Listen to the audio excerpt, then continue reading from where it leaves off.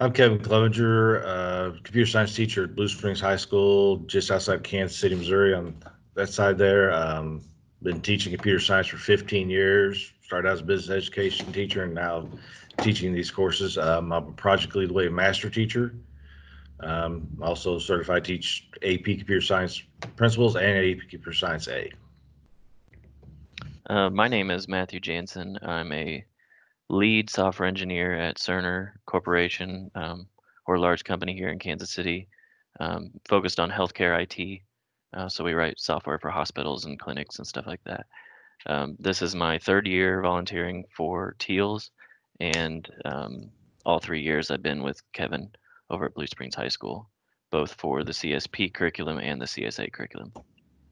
So we use uh, GitHub for students to uh, submit homework assignments, and we, along with that, we use uh, GitHub Classroom for them to click on a link to clone the repository to their repositories.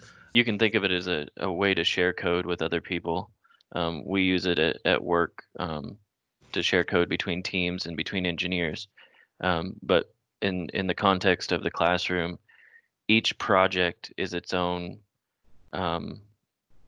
It's called a, re, a repository, so each project is its own little um, self-contained folder structure, um, and then each student has their own copy of that.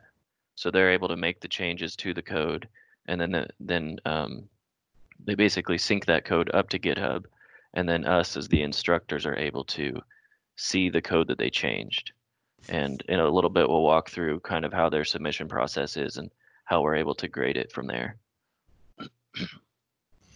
And one thing about GitHub is as educators, we can submit for uh, an organization, which we'll show here in just a little bit, but it's free for educators. You get unlimited private repositories. So that's a great thing for this. Mhm. So here is in in all of our repositories, we have a README, which is basically just the instructions on what they're supposed to do.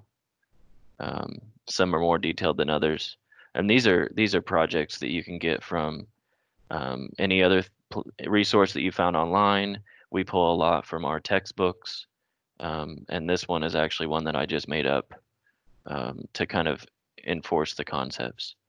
Um, so they'll get they'll get this repo and they they copy it and um, pull it down to their computer, and then they'll just go through the steps and follow the steps like they would do on a normal project. So in here, when creating assignments, uh, use GitHub Classroom, which is uh, the education side of that. And sorry for the bell.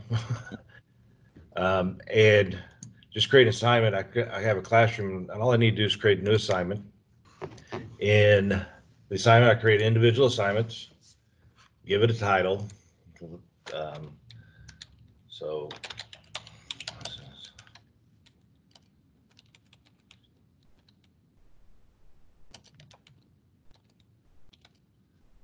Like that, I can leave it private. Then I go down here and add additional starter code. And at this point, I can actually do a search, start to just start and roughly start typing it in. It does a search right here. Um, There it is. And I select it right there. I can put in a deadline when it's due by. The one thing we don't do, this one says grant students admin rights. The one thing you don't want to do there is give that to them because then they can go delete the repositories and you'll, you cannot see everything. By leaving that off there, uh, Matt or I are the admin of it, so we're the only ones that can delete or change their, uh, settings in the repositories. Pre-assignment, it gives me a link to, for the students to actually go click on that will clone their, this repository into their, uh, GitHub account.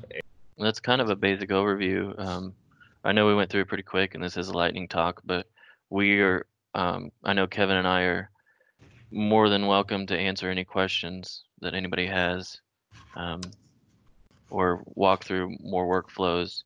Um, we tried this our first year, and I think GitHub itself wasn't quite advanced enough for what we were trying to do. But it seems like they made a lot of strides in the past couple years, so we tried it out again this year, and it's been working really, really well for us. Yeah.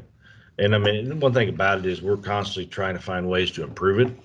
Mhm. Um, one thing I've been starting to research a little bit is how to do auto grading to test for testing purposes. Um, looking at Travis CI right now, but I haven't quite got that worked out yet. It's being a teacher of a bunch of classes. It kind of takes time for me to work it out.